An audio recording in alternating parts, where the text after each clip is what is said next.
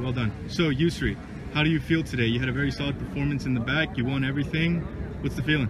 Yeah, we work like for each other. We work as a team, and like we keep winning. So like the, the, the team is good now.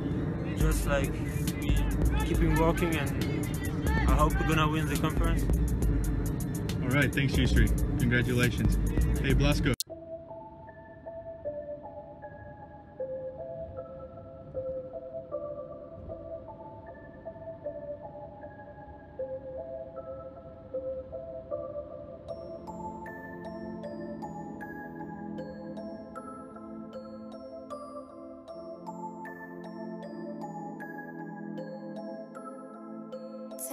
On the